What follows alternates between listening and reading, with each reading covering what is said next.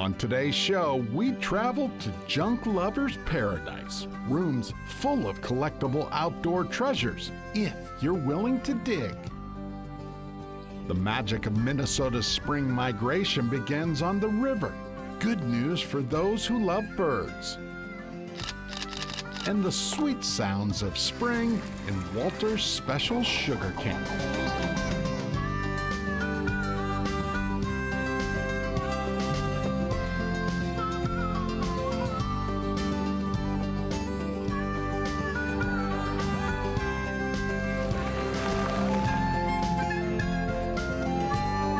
Minnesota Bound. Presented by Kinetico Water Treatment Systems.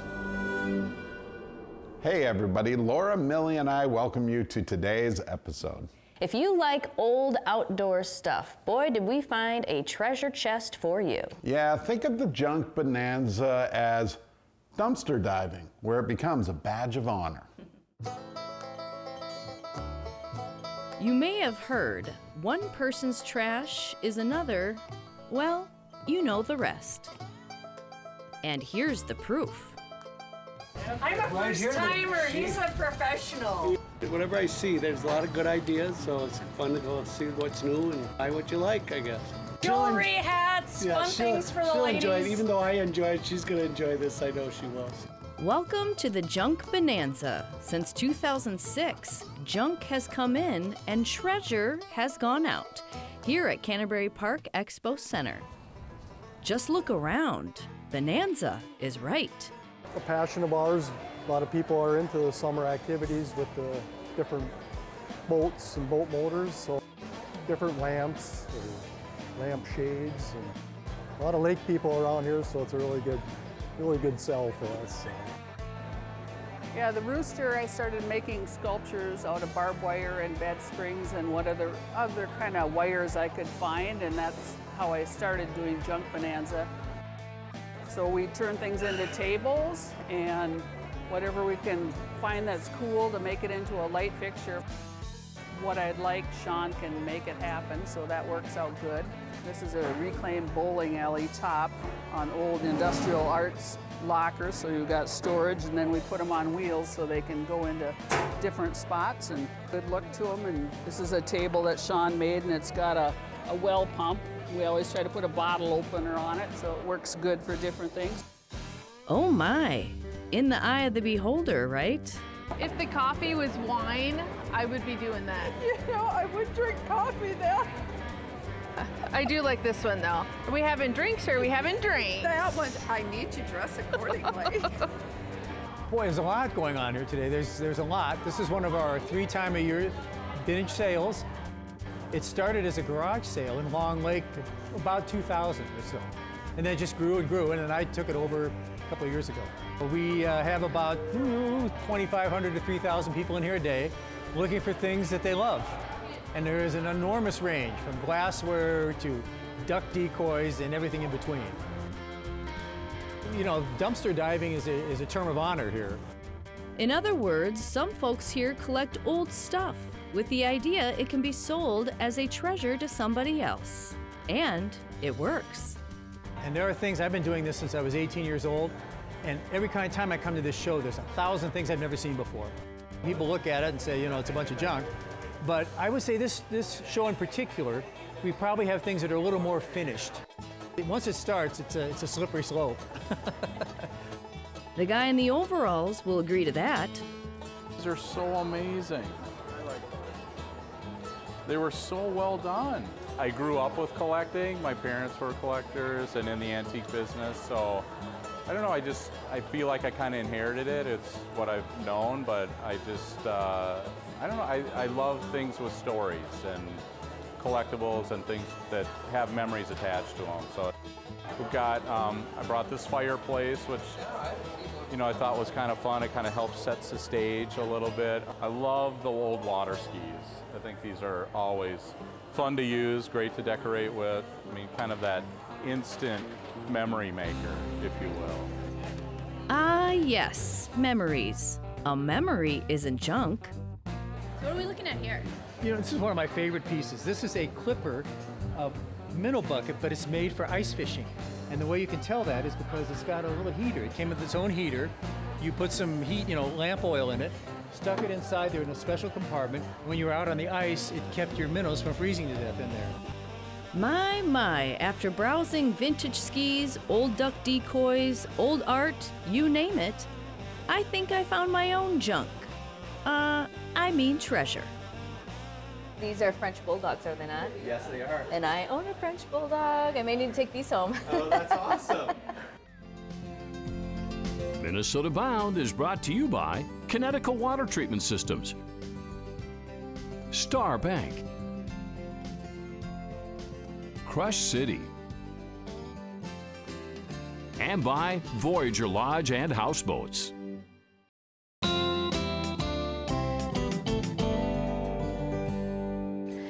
Nature is always the best judge of when spring has actually sprung.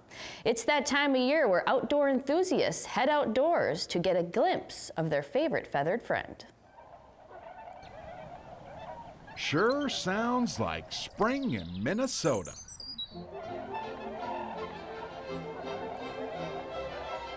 But today, the birds aren't the only ones on the river.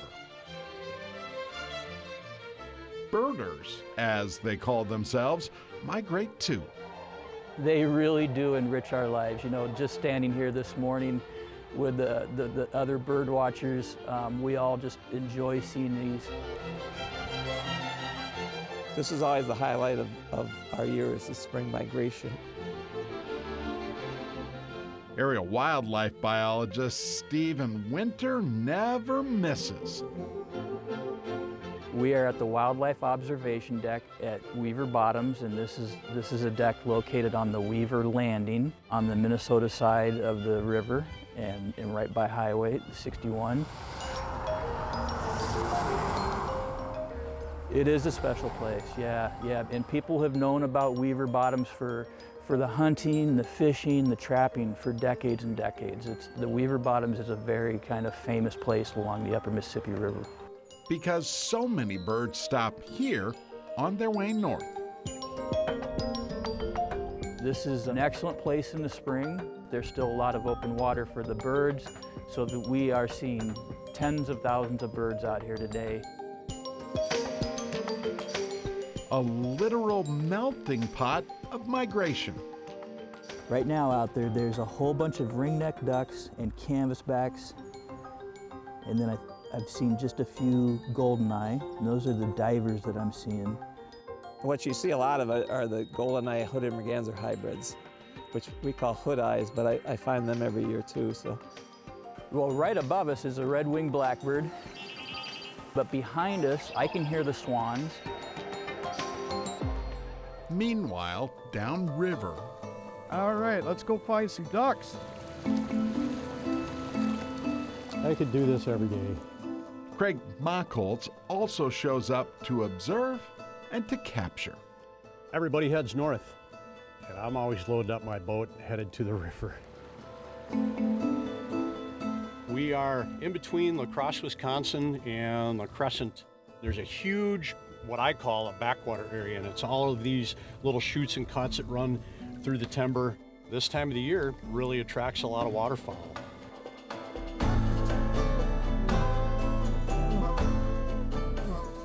Where I'm sitting back here, it actually works out pretty good because I'm behind the weeds and anything that's landing right in on me makes for a great shot.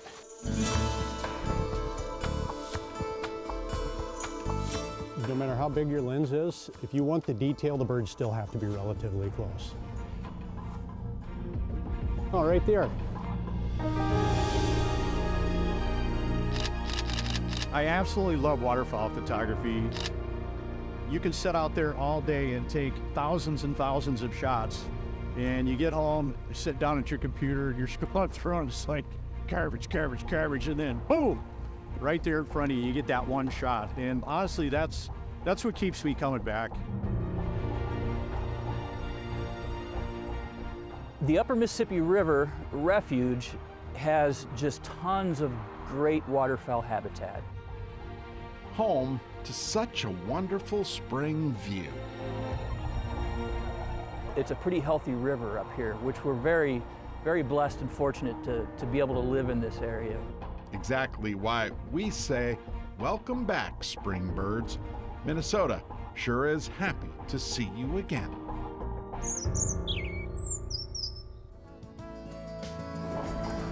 Still ahead, we hit the Sugar Shack with a guy who knows just how sweet this spring treat can be. But first, a visit to one of Minnesota's most profound museums.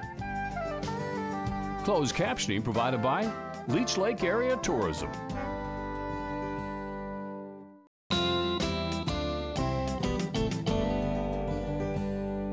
Minnesota's Bell Museum helps both kids and adults explore right here in the Twin Cities. It is a legacy more than 100 years strong. Two hundred thirty-eight thousand nine hundred.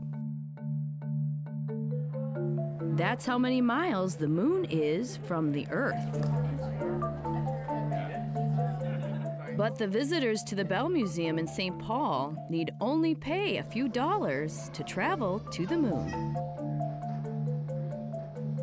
And what's really great about the moon is that we all see it. See it? You can't miss a 21 meter moon in the main lobby. These are real images of the moon that are stitched together. Even those driving down Larpenteur and Cleveland Avenue got a view. The Museum of the Moon exhibit recently passed through the U of M Natural History Museum, allowing visitors an up close look at the fifth largest satellite in our solar system. So tonight's event is called After Hours Night Moves.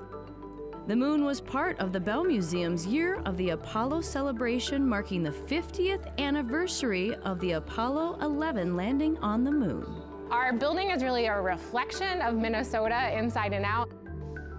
There's been a lot to celebrate at the museum as they recently moved into their new $79 million home. Well, one thing that you'll see when you come into the new museum uh, is how much natural light there is. We also added another really big feature, which is our woolly mammoth diorama. It's our first new diorama in over 50 years. We have over a million specimens from both uh, Minnesota and the region. If you want to see all of Minnesota on display, you can tour the entire state in one visit to the Bell Museum. And uh, Visitors on this night were treated to a special guest from Voyageurs Wolf Project. It's a real honor to be part of After Hours and Night Moves. Joseph Bump spoke about the secret lives of wolves in the summer. Yeah, the Voyageurs Wolf Project is a collaboration between the University of Minnesota and Voyageurs National Park. Their goal? We're focused on what they're doing approximately from April to October, how they're raising their pups, how they're making a living when it comes to prey, um, and sharing that with people. Because so we're using technology like GPS collars, technology like remote cameras, and combining them um, to bring pictures and video and the science uh, to people. Night vision cameras caught the wolves fishing.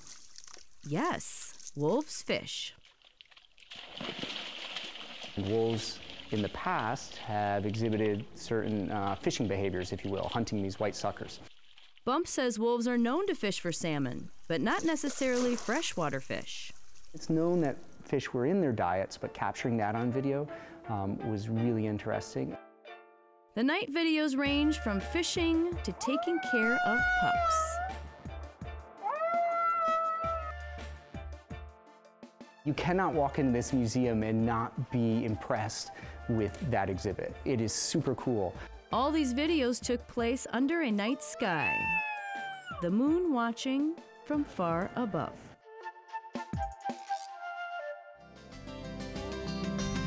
Minnesota Bound is brought to you by Floe Docks and Lifts,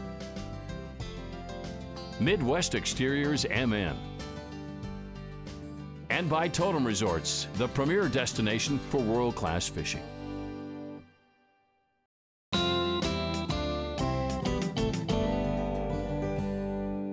Up next, we head to the Crow River, where an often snowy trail leads to a very tasty spring tradition. But what starts as a sugar bush ends up in some of the fanciest Twin Cities taverns.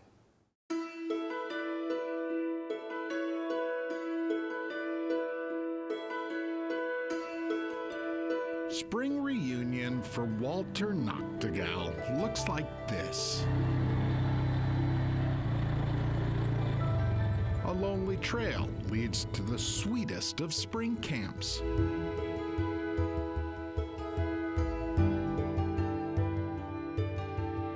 But there's always a spring snow to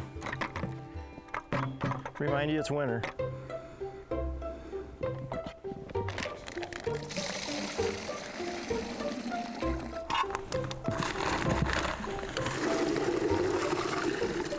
Nature's little gift.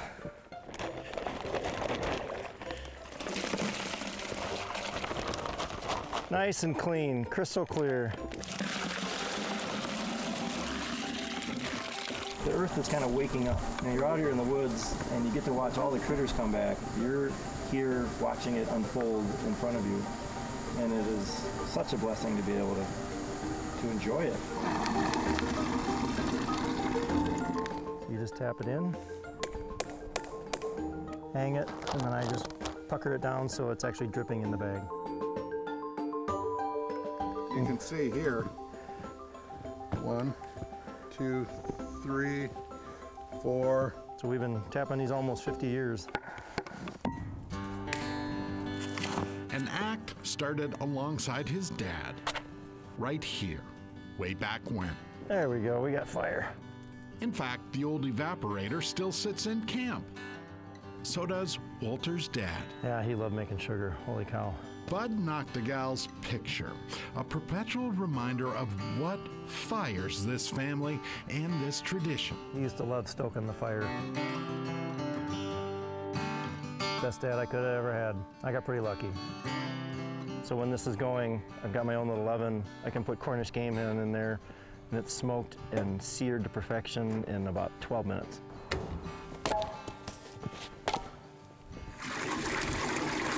Progressively move from this pan to this pan, so you've always got two pans boiling. The last one I call Peter. Peter Pan.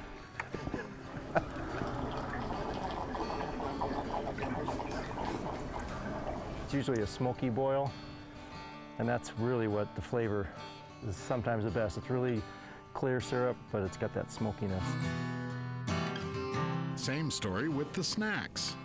How's that for dinner? I don't know if I can do any better than that. Life right now is pretty good out here. Yes, Walter loves this syrup and this lifestyle, but what he does with it, that might be the icing. So my favorite thing to make is the old fashioned, which I incorporate my maple syrup with. It's not just for breakfast anymore. This is where I craft my my career and my cocktails. See, Walter mixes up drinks professionally. Been doing so for decades. He uses one key ingredient from camp. Can't even imagine how many drinks I've made over 35 years. A little heavier on this because of the tartness of the citrus. When you see the maple syrup against the frothy glass, it really kind of makes a nice touch. These are more of a craft cocktail old fashioned. This actually has probably made me a better relatable bartender because I have many people that come in and they're fascinated by the stories of the maple syrup. If I can teach somebody something that day as well, then that's a bonus. Walter's best kept recipe revealed right here. It's a pretty simple one, not, not rocket science. Tea into a cup or whatever, and then hot concentrate. Just let it steep for a couple of minutes and you got goodness. Yep, sweet sap is the base. And then all of a sudden we started drinking sap and it was like, I stopped bringing stuff to drink because that's all I would ever drink is just right out of the bag. Lessons on mixing it up in life. Walter's story started long ago with a single drip. And you can see that proof hanging from a tree in a bag and the sweetness within, it's, it's pretty awesome to be a part of that. These are days you kind of live for. This is makes all the hard work worth it. Definitely a gift. purely decadent. The cocktails look delicious. Well, that about does it for us. We hope you join us next week. In the meantime, remember to introduce a kid to the great outdoors. Transportation provided by Premier Transportation. Call 1 800 899 7433.